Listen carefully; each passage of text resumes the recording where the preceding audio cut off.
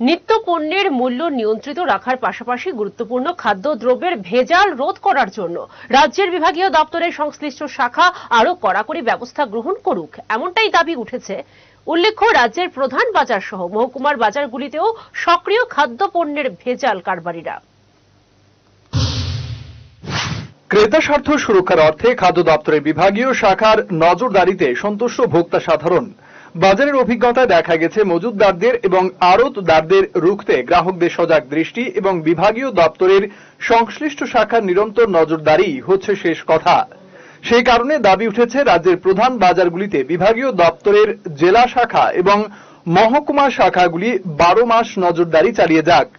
খাদ্যপণ্যের মূল্য নিয়ন্ত্রণ, বিশেষ করে ডাল, তেল, শাকসবজি, আলু, পেঁয়াজ ইত্যাদি মূল্য যাচাই সহ বিভিন্ন খাদ্যপণ্যের ভেজাল দূর করতে এবং ভেজাল কারবারিদের বিরুদ্ধে আইনি পদক্ষেপ নিতে দপ্তর আরও কড়া ভূমিকা পালন করুক, এমনটাই দাবি উঠছে ক্রেতা সাধারণের তরফ থেকে।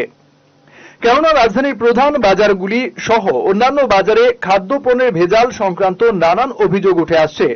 অভিযোগ রয়েছে, বিভিন্ন বাজারের কাছাকাছি এলাকায় ভেজাল পণ্য তৈরির কারখানা থাকায় বাজারে ভেজাল পণ্য ক্রমশ ছেয়ে যাচ্ছে। ত্রিপুরাতেও শিশু খাদ্যে ভেজাল, দুধ, তেল সহ অন্যান্য বিভিন্ন খাদ্যদ্রব্য ভেজাল কারবার চলছে স্বার্থান্বেষীদের মাধ্যমে। শুধু তাই নয়, দামি ব্র্যান্ডের মালামালকে নকলের মাধ্যমে বাজারজাত করার নানান চক্রান্ত এবং অপপ্রয়াস বিভিন্ন সময় লক্ষ্য করা গেছে।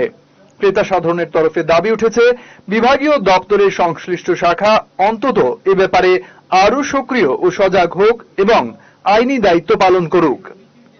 Bureau report, headlines, Tripura national.